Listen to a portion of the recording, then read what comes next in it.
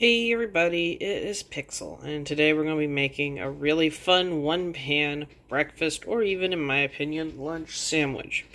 For that, we're going to need three or four eggs, two pieces of sandwich bread, bacon, tomatoes, Swiss cheese, ham, and a little bit of mayonnaise in my opinion. This really shouldn't take that much to make, so let's get going. First off, you're going to want to pour your eggs into the bigger pan Make sure they cover the whole thing. Then you're going to be putting in two pieces of sandwich bread. You're going to give that a little bit of time to cook until you think it's able to be flipped over. Now, it's not going to be too easy, but you're going to want to put up the edges and try to flip this over so that the top of the toast that isn't already starting to cook is on the bottom. And then we can fold our eggs in and start assembling our sandwich. When we've done that, our sandwich will look like that with two pieces, one and two. With that knowledge of where they are, you're going to want to start putting on your ham and your bacon.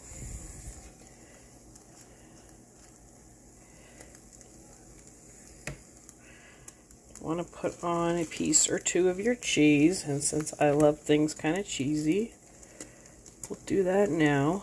Of course, I'm going to flip it so it's on the bottom. Hmm. Put that last piece of bacon on there. Last but not least, I'm going to put on my two pieces of tomato. And your sandwich will look a lot like that. And it just needs to finish cooking on both sides.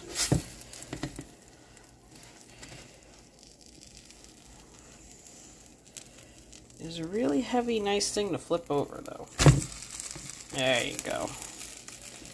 Looks a lot like French toast when it's done, almost. Press that down a little. We'll be cutting that in half and breaking into it in a minute. All right, we've taken that off the stove and cut it into two pieces. And that is what the inside layer looks like. It's a beautiful, thick breakfast sandwich. We're going to let this cool off for maybe about five minutes, and then we can try it. Alright, I took a little bite, see how it would go, and it's actually really good. I totally want to go finish this. This side got a little less of the ham because it shifted around, but that's okay. Still has some amazing egg and almost like a custard-like consistency to it. And I put a little drop of ketchup and stuff, so... This is actually really faster than I thought to make breakfast. It's good. And, you know, if you have any thoughts, any comments, any way you would have done it differently, just let me know in the comments. I'm to go finish my breakfast and see you in the next video. Later.